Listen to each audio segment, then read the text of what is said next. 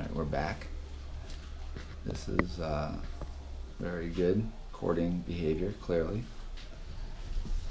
And she's not losing her mind, so we'll be looking at copulation a little later. One thing I do want to point out is a lot of your Varanus pairings, just because you put two animals together, doesn't even mean they're compatible. Some females will not tolerate a male. She'll never allow a male to breed her, and it just doesn't work.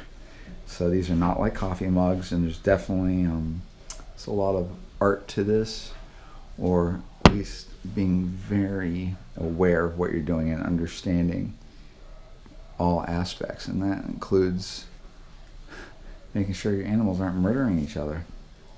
So so far this is good. Even though he didn't get her, he will. It's just a matter of time. And we'll come back. I did do. Here's a black dragon and a black dragon pairing.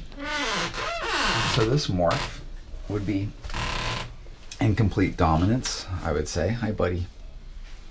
What's that? So I just did a pairing of these two, and uh, I'm happy with the behavior of them. So this female is nice and conditioned. And you are just ridiculous. You're afraid of my camera.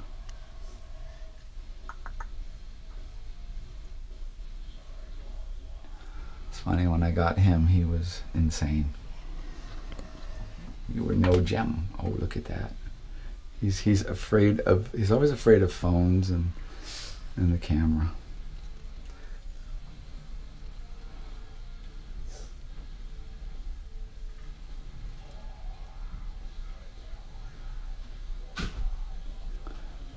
Face.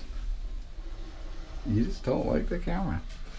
All right, so right now I have no breeding going on just yet, but uh, this is a good thing because this female is often very intolerant. This is a tricky female to breed. This this female drives me kind of crazy. Right?